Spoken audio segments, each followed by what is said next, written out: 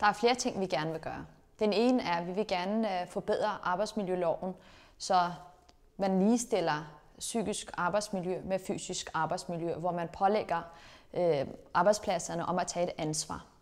Dernæst så vil vi også gerne putte flere ressourcer i arbejdstilsynet, så man får de besøg, man skal have, og arbejdstilsynet selvfølgelig også skal kigge på, øh, om psykisk arbejdsmiljø er okay. Og de mennesker, der bliver ramt af syg, dårlig øh, psykisk arbejdsmiljø og af stress, skal have mulighed for at blive henvist til en stressklinik, og det skal også være muligt, at, øh, at staten skal give tilskud til de her klinikker, samtidig med, at de stressrådgiver, der skal være, de skal være uddannet til det.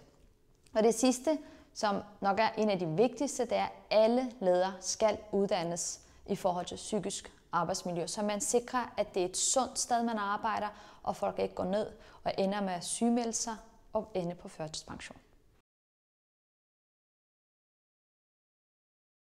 I SF har vi sagt nej til forringelse af efterlønnen, og vi vil heller ikke være med til at afskaffe den. Vi synes, det er rigtig vigtigt, at mennesker, som har haft et hårdt arbejdsliv, faktisk har ret til en værdig alderdom. Og de skal få lov til at få deres efterløn, uden at de skal banke på hos socialforvaltningen og skal blive til en sag og ende på førtidspension. Det er den ene meget, meget vigtige skridt, vi har taget. Det andet er, at vi har gentagende gange overfor regeringen sagt, at der skal være flere ressourcer i arbejdstilsynet, og øh, der skal være muligt, at man kan få behandling for sin stress. Der skal være stressklinikker rundt omkring.